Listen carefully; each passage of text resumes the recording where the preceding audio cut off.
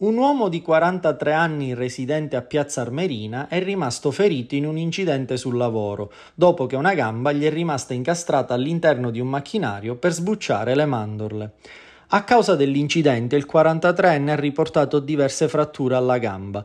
Il fatto si è verificato in un'azienda agricola di Piazza Armerina e la situazione è apparsa subito seria ai colleghi dell'uomo, i quali hanno allertato immediatamente i soccorsi.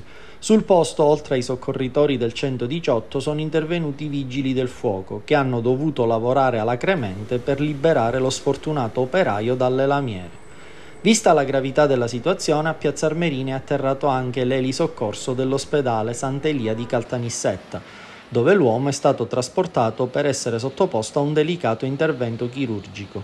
Il 43enne è adesso tenuto sotto osservazione dai medici dell'ospedale nisseno e la situazione sembra essere sotto controllo.